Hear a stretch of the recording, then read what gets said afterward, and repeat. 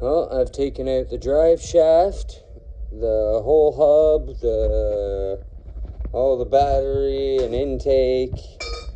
Uh, oh yeah, and three motor mounts. Dropped the motor about six inches, just so I can get to this, pull it out, and replace one little piece inside.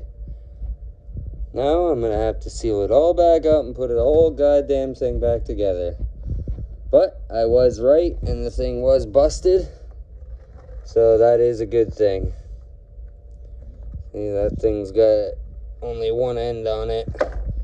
And it should have two like this one. So, at least I was right. The part was busted. And it will be fixed. Yahoo!